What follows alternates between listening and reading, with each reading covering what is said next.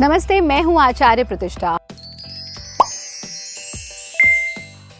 हम एक ही जीवन में अनेकानेक रोल्स अदा करते हैं। कभी हम माँ हैं, कभी बेटी हैं, कभी पत्नी हैं, कभी प्रोफेशनल लाइफ है पर्सनल लाइफ है। इसी प्रकार से कभी हम पिता हैं, कभी भाई हैं, कभी पुत्र हैं, कभी दोस्त हैं, कभी बॉस हैं, कभी सबॉर्डिनेट हैं। ढेर सारे रोल्स हम अदा करते हैं। Personal life professional life social life spiritual life और इन सबको रोल्स को निभाते निभाते कई दफ़ा इनका बैलेंस बिगड़ जाता है। आपके जीवन में बैलेंस बना रहे, ये बहुत आवश्यक है। जीवन में बैलेंस बना रहे you should have balanced life और साथ में आपका एक्सेस वेट भी कम हो, ये दो काम करता है तोलांगुलासन किस प्रकार से करना है ये आसन, ये तो हम आपको बताएँगे ही, लेकिन उससे पहले आज का योग विचार। योग का अर्थ ही है समत्वम, योग उच्चते समान स्थिति को प्राप्त करना ही योग का उद्देश्य है।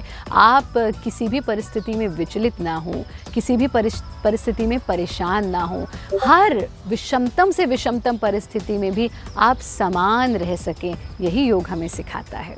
दुनिया भर से लाखों लोग Bharat yoga lifestyle retreat Mukteshwar Himalaya पर पहुंचकर अपने रोगों को दूर करने की कला सीखते हैं। आप भी भारत योगा रिट्रीट मुक्तेश्वर में आइए।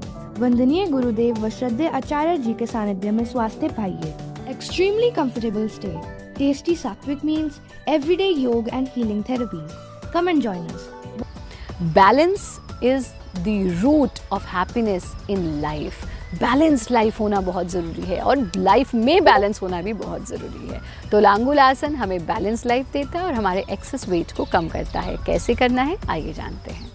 तो लांगुल आसन के लिए हम सबसे पहले पद्मासन में आ जाते हैं। पद्मासन लगाना और फिर अपने हाथों का सहारा लेते हुए इस प्रकार से कोहनियों को ज़मीन पर टिकाते हुए ट्रियांगुलर पोजीशन में आ जाना। आकाश की ओर देखना या फिर अपने घुटनों की ओर देखना। यथा सामर्थ्य इस बैलेंसिंग पोज में रुकना और फिर धीरे धीरे से हाथों का ही सहारा लेते हुए पद्मासन में वापस आ जाना। पैरों को खोल लेना।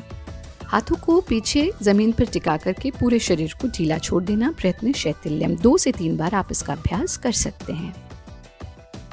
से तीन बार आप दोहरा सकते हैं। नियमित रूप से इसका अभ्यास कीजिए। साथ में दिन में दो बार कम से कम ध्यान का अभ्यास ज़रूर कीजिए।